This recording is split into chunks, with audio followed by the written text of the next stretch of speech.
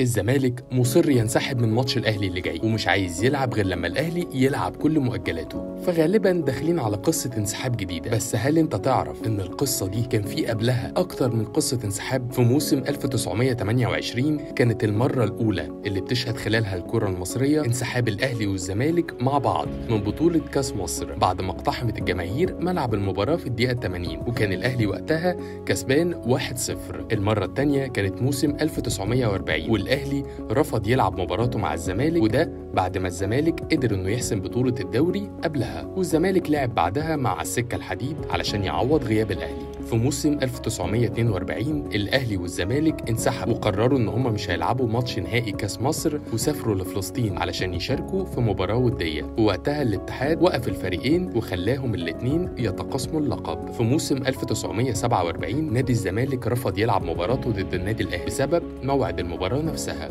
وفي موسم 1965 مروان كنفاني وده كان حارس فلسطيني بيلعب في النادي الأهلي كان أحد أسباب الانسحاب ضد الزمالك. وده بعد اعتراضه على تسجيل الزمالك لهدف في مرماه وكان بيقول إن الهدف أوفسايد. فالأهلي رفض يكمل المباراة وخرج من الملعب. في موسم 1971 الكنفاني بيعود من جديد وبرضه بيعترض على هدف لنادي الزمالك علشان يتكرر الشغب وانسحاب الأهلي. في موسم 1995 انسحب نادي الزمالك قدام نادي الأهلي في المباراة اللي جمعتهم مع بعض في الدوري المصري. وده بعد ما الأهلي كان كسبان 2-0 والجول الثاني كان جول حسام حسن اللي الزمالك وقتها قال إنه تسلل في موسم 1998 الزمالك انسحب من المباراة بعد خمس دقايق بس من الماتش وده بسبب إن الحكم طرد أيمن عبد العزيز عشان كابتن فاروق جعفر يقرر إنه يخرج بالفريق من الملعب. وفي موسم 2001 النادي الأهلي انسحب قدام الزمالك في أول نسخة من بطولة السوبر المصري وده عشان الأهلي وقتها كان عنده مباريات في المسابقات الإفريقية.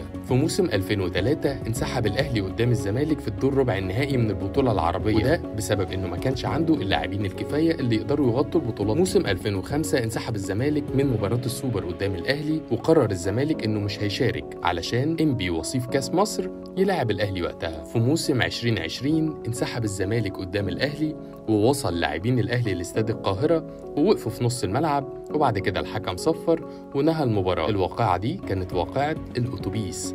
موسم 2023 نادي الزمالك انسحب برضه من مباراة السوبر قدام الأهلي ورفض يسافر للإمارات علشان بيراميدز يلعب قدام الأهلي والأهلي يكسب وفي 2024 يا ترى الزمالك هيلعب الماتش بتاع يوم الثلاث ولا هنشوف انسحاب جديد؟